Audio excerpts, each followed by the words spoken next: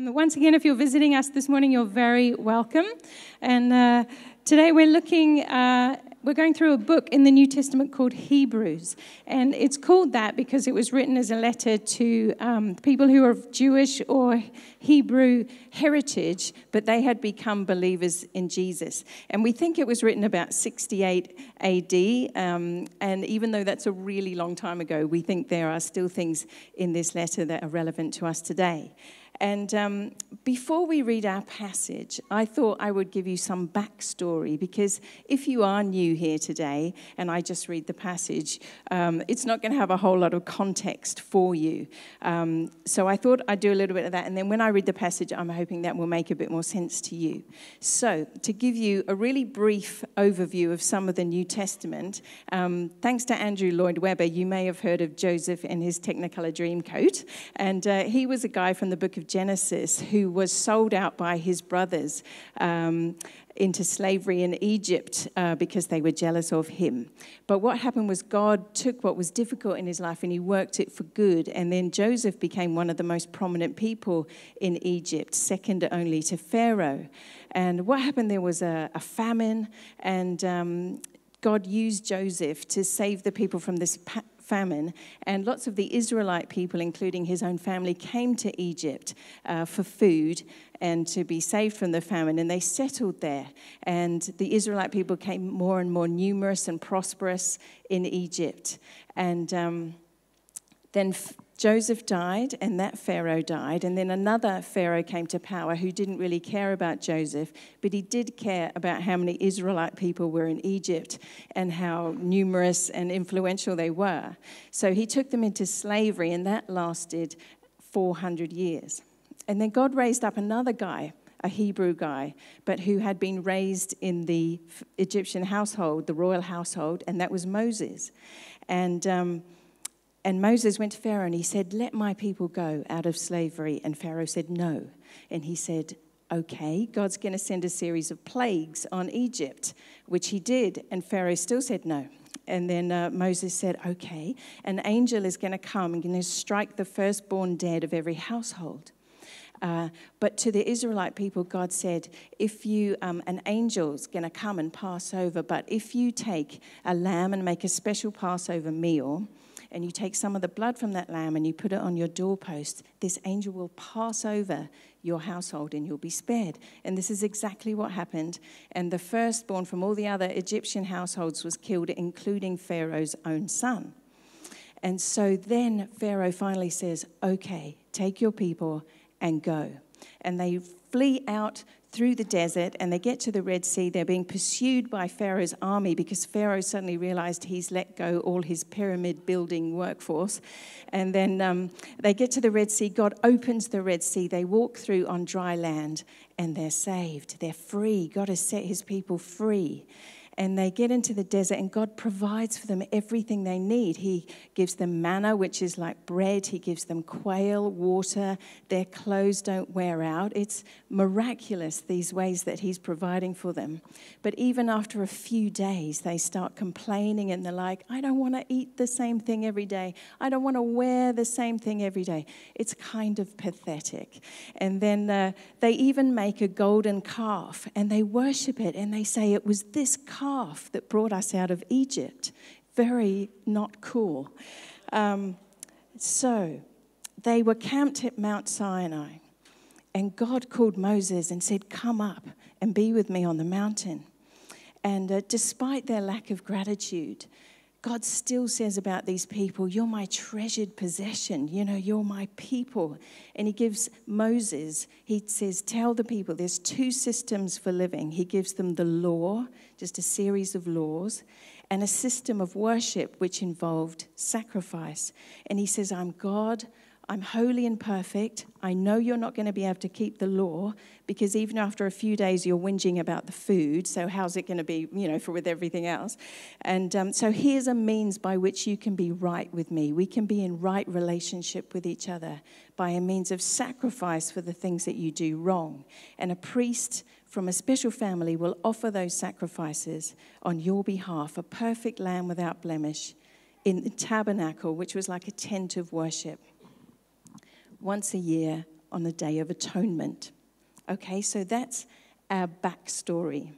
They were people with laws and sacrifices offered by a priest on behalf of those people when the laws were broken. And in this book of Hebrews, the writer is making a case that we now have a better priest who is Jesus. Okay? So now, here's our passage. This passage in chapter 8 is called the high priest of a new covenant. And it says, now the main point of what we're saying is this we do have such a high priest Jesus, who sat down at the right hand of the throne of the majesty in heaven and who serves in the sanctuary, the true tabernacle set up by the Lord, not by a mere human being. Every high priest is appointed to offer both gifts and sacrifices, and so it was necessary for this one to have something to offer. If he were on earth, he would not be a priest, for there are already priests who offer the gifts prescribed by the law. They serve at a sanctuary that is a copy and shadow of what is in heaven. This is why Moses was warned when he was about to make the tabernacle.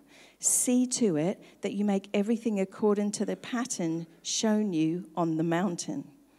But in fact, the ministry Jesus has received is as superior to theirs as the covenant of which he is mediator is superior to the old one, since the new covenant is established on better promises. For if there had been nothing wrong with that first covenant, no place would have been sought for another.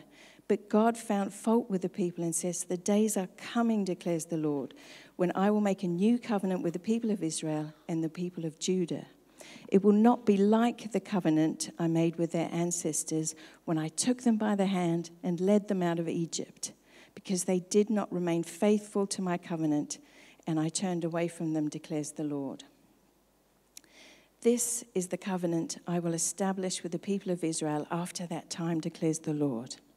I will put my laws in their minds and write them on their hearts.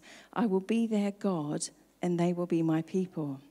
No longer will they teach their neighbors or say to one another, Know the Lord, because they will all know me, from the least of them to the greatest.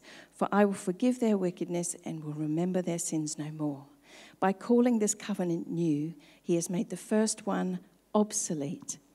And what is obsolete and outdated will soon disappear. Now, there's actually more of this passage to come, but let's stop there for a minute and look at some of the key things from here including the word obsolete. Now, it's not a half hearted word, is it? Something's, you can't say something's kind of obsolete, like either something is outdated and no longer useful and defunct, or it isn't. And it's not really a complimentary word either, is it? You wouldn't say, oh, that is so obsolete. you wouldn't say that, would you? Now, just to digress for a minute, a couple of years back, Miles and I did this strengths test thing. That is so hard to say, strengths test, right? And um, you kind of think you know what your strengths are, right? And then when my results came back, it said that one of my top things was input. And I was like, what even is that? Like, how, how is that a strength? Like, and uh, the little blurb, you know, that went with it said, you know, this is you love resource, you love information, and you love to order and archive information and things like that. And I thought, that is freakishly accurate. um, because if you come to my house, we have hundreds of books and CDs, and um, also the many, many concerts that we go to to see our son play. We, I have the programs, I have the tickets, I have everything. Because one day when I get a spare five minutes, I'm going to make that photo book of the year and it's going to be a completely accurate record of everything that happened, right? That's just, I don't know why I need to do that, but I do. Now, some people call that hoarding, and I'm going to call it archiving, okay? Now, I know that I'm not a hoarder because there's this other side of my personality that is completely in conflict with this, that wants to declutter everything, okay? This isn't working. So, um, and here, my visual aid. I think I'm doing really well with decluttering until I get to this. It's a box of cassettes, okay? And once a year, I, I, you know, I go into my wardrobe, and on a high shelf is this box, and I get it out, and I open the lid, and I go, hmm, I like that. And Miles appears over my shoulder and he goes, chuck it. chuck it. He goes, and I go, hmm. I don't know. And the lid goes back on and it goes back on the shelf, right? And, um, but there's all kinds of things in here. Look, the police. Um, I've got Billie Holiday, 16 classic tracks. I've got Mariah Carey, even. And, uh, but this is the soundtrack to my school years, right? Yeah, and can I just throw that away? Like, Miles, do you really want me to throw that away? And um, so the declutterer in me wants to, wants to throw that away. But the archivist in me says, This is my history, right? I'm getting there. I'm getting there, Scott. But um, hey, so I'm talking about cassette tapes, right? Have a little drink. There's some good stuff in there, I'm telling you. So I'm talking about cassette tapes. But for the people getting this letter, they're Jewish people who had become Christians. And this writer is saying to them, Your whole previous way of life, everything you have ever known up till now, your culture, your heritage, your traditions, your way of worshiping, your entire identity, and the identity of people that you are still related to and connected to, it's obsolete. Like, that's a shocking thing to say, isn't it? And this, um, they would have been, excuse me, you know, like offended. They would have been offended by that. But this writer, he spends three whole chapters, 8, 9, and 10, telling them why this new order is better. And the writer, he's working really hard to convince them because they need a complete shift in their minds and in their hearts from one culture or order to another. Because you can't live as those waiting for a Messiah and also believe that the Messiah has come. You, you can't do both of those things at the same time. Now, there were some very practical reasons why they may have been keeping up those traditions. Um, at this time, the Jewish faith was recognized by the Roman Empire as like an official religion, but Christianity was not. And 64 AD, Emperor Nero came to power, and he used to find it amusing to blame the Christians for anything that went wrong in the city. He would crucify them, he would set them on fire and light his garden parties with them. He would throw them to the lions in the great arenas to amuse the crowds. We know historically that these things happened.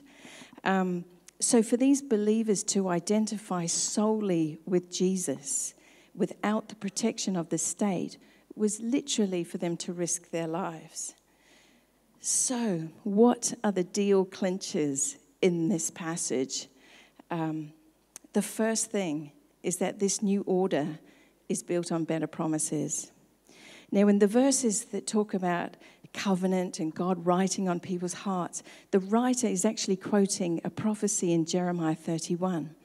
But he's saying this is not something God is still going to do in the future. It has now been fulfilled in Jesus.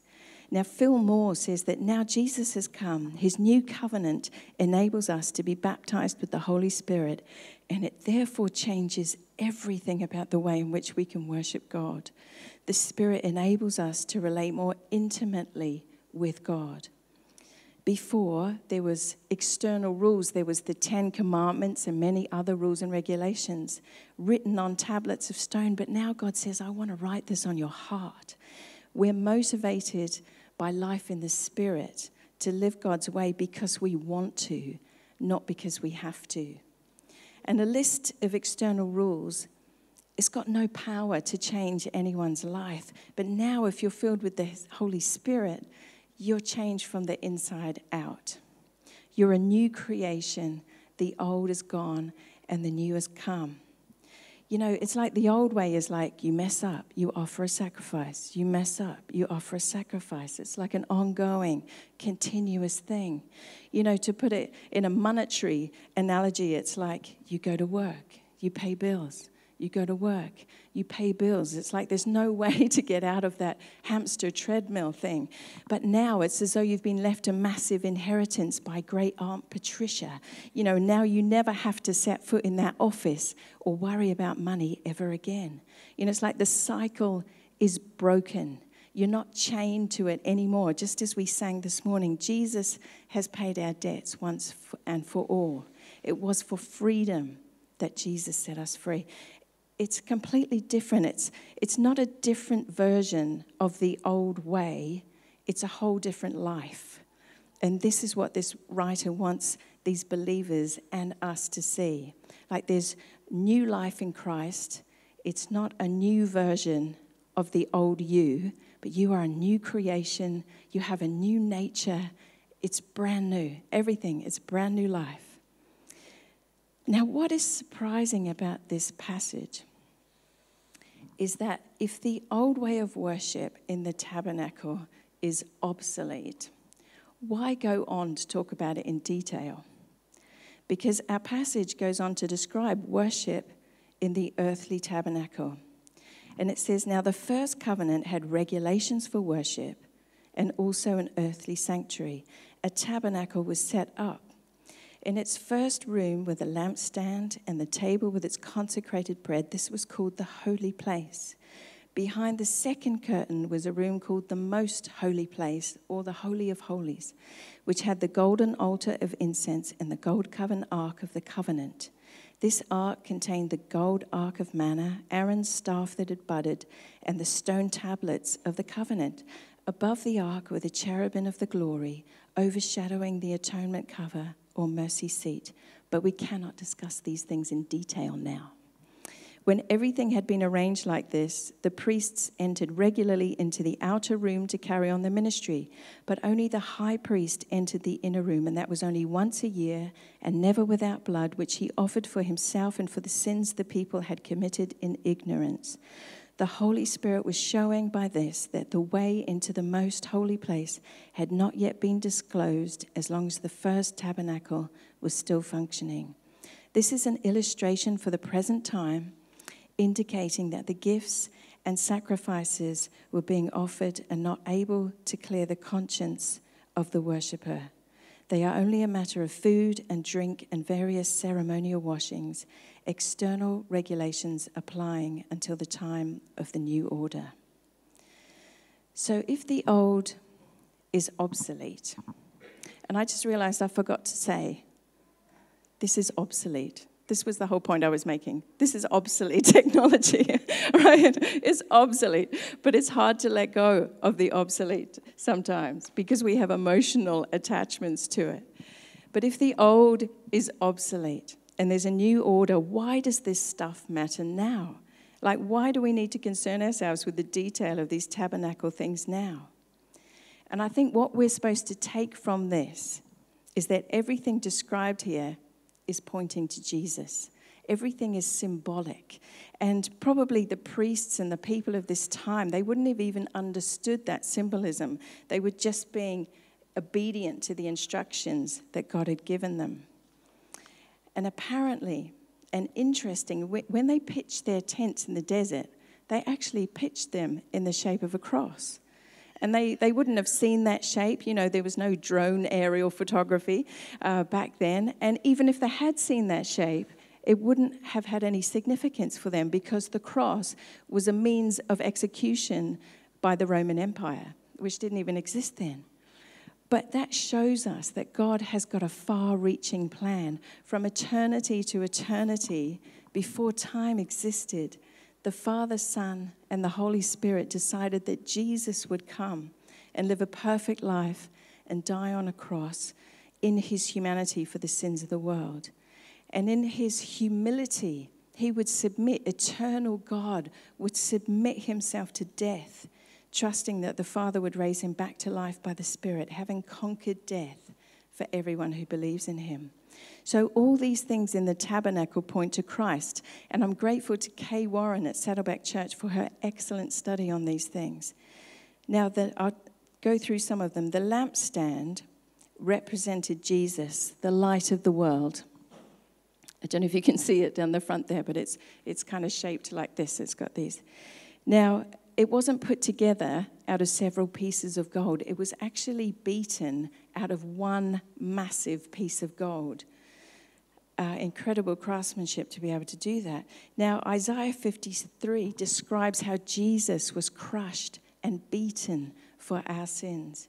And look at the shape of it. It's got this uh, trunk, if you like, and then all these branches coming out from it. John 15 says that Jesus is the vine and we are the branches. We cannot bear fruit by ourselves, but only by remaining in Him. The 12 loaves of consecrated bread represent the 12 tribes of, of Israel. But also in John 6, Jesus describes himself as the bread of life. He says, Whoever comes to me will never go hungry, and whoever believes in me will never be thirsty. He said, My Father gives you the true bread from heaven. The tables were made with wood overlaid with gold. This also represents Jesus the wood represents him in his humanity, and the gold represents him as the glorified king. The altar of incense represents prayer. Psalm 141 says, May my prayer be set before you like incense. In Luke 18, uh, Jesus used a story to teach his followers that they should always pray and never lose hope. Prayer is a key to our communion with God. And then we come to the most holy place towards the back, that large purple curtain at the back. The veil represented Jesus' body broken for us, the means by which we gain access to God. The torn veil signified that God had accepted the blood offering Jesus had provided and that Jesus' work was finished. Jesus is the new order. In the old system, a priest would lay his hands on a goat, literally called a scapegoat, and that goat would be led out, from, out of the city far away, symbolically carrying away the sins of the people. Jesus says that on the cross, as far as the east is from the west, that is how far he has removed our sins from us. Jesus, the Lamb of God, is at one and the same time the high priest offering the sacrifice and the sacrifice that makes us acceptable to God.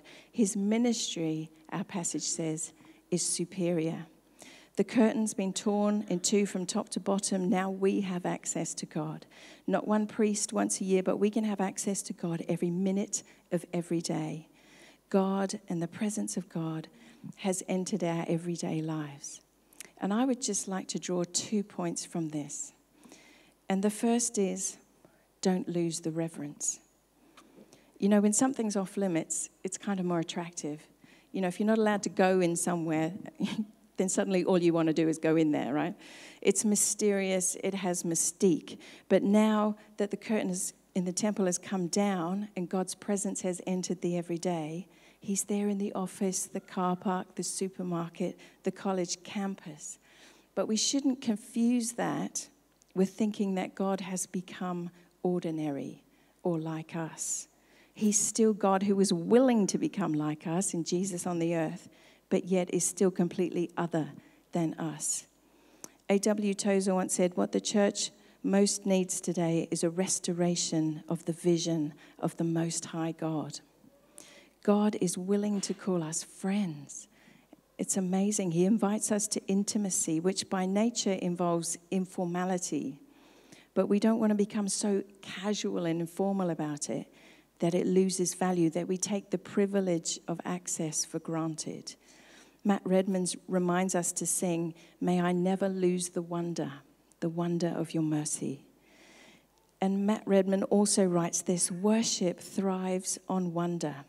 We can admire, appreciate, and perhaps even adore someone without a sense of wonder, but we cannot worship without wonder. I've come to love the word otherness. It's such a great worship word, a sense that God is so pure, matchless, and unique that no one else and nothing else even comes close. He is altogether glorious, unequaled in splendor, and unrivaled in power. He is beyond the grasp of human reason, far above the reach of even the loftiest scientific mind, inexhaustible, immeasurable, and unfathomable, eternal, immortal, and invisible. The highest mountain peaks and the deepest canyon depths are just tiny echoes of his proclaimed greatness, and the blazing stars above only the faintest emblems of the full measure of his glory. Sometimes in the church, he says, I worry.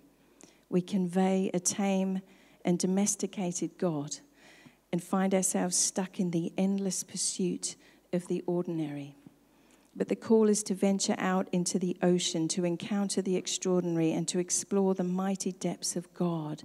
And though our earthly gathered worship times may never sound the depths of His glory, beware of those that don't even attempt to. And my final point is that we must take full advantage of full access. And um, I just want to say I'm so glad the songs that the band chose this morning, there, they really reflected a lot of what I'm saying here. But um, let me ask you a question. If you had an all access pass to the All England Club, that's, that's the tennis club where they host Wimbledon every year. If you had an all access pass to that club and you could sit anywhere you wanted, would you go and sit yourself out in court 18? Or would you sit in the royal box on centre court? You can sit anywhere you want. You take the best seat in the house, right? Now, we know in our hearts, hopefully, we know in our heads for sure, that we have 24 7 full access to Almighty God. And yet, sometimes we're just content to hang around on the outer courts instead of pressing right in. You know, when we gather here, as we heard, as we experienced, as we sang this morning, God is here. I ask myself, am I able to be more excited and expectant about that than I currently am? Would he be here more powerfully than he currently is if we came with more faith? Could we be astounded each week by miracles and healings and salvations? God is able. Are we willing to ask and to wait? Are we hungry to know Him more? Are we willing to pursue Him? How much do we want Him? God wants to dwell with us. Do you know that the word dwell and the word tabernacle mean the same thing? God wants access to all your decisions and life choices. He wants to walk alongside. He wants you to experience His presence in wonderful ways. He wants you to feel His comfort and strength and peace and grace in whatever you are going through. And in a very real and down to earth way, Kay Warren says this God has actually given us all access to Himself. God is a relational God, and He wants to be in relationship with you. He wants you to get to know Him he wants to be a part of your life in the high points. He wants to be a part of the low points. The times when you're feeling good, pretty good about who you've become. He wants to be part of your life when you're actually pretty ashamed at some of the things you've thought and said and done. He wants to be a part of the dreams that you have for your family. He wants to be a part of your doubts and your questions. He wants to get down there in the middle of the messiness and the complicated situations of your life. He wants to be there on the dark nights. He wants to be there during the successes, the births, the deaths, the marriages, the divorces, the evictions, the one night stands. He wants to be around in the drunken stupors. He wants to be around in the terrible fights that you have in your home. He wants to be with you in the good times and the bad, the promotions and the trophies and the honors and the successes. God wants to be involved in your life.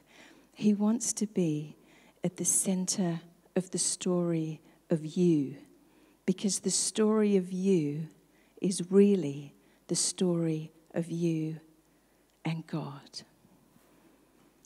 I'm just going to pray. Lord, we thank you for access. We thank you that you have made it possible. You've allowed us to come near to you. Lord, what a great privilege that is, and we never want to take it for granted. Look, God, we don't want to hang around on the outer courts, but we want to press into you. We want to know you more. We want to know everything that you've made available for us to know about you, Lord.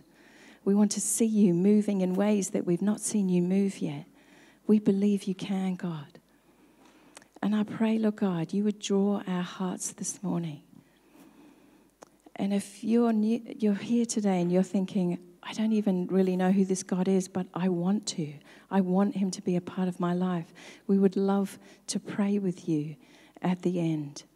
There'll be a ministry team that will come over here and uh, we just say, Lord, Lord, we want to draw close to you, Lord. We want to take advantage of the access. We don't want to live Monday to Saturday just doing okay on our own, thanks. And then Sunday we come and sing a few songs to you, Lord. We want you to be in every part, every decision, every moment.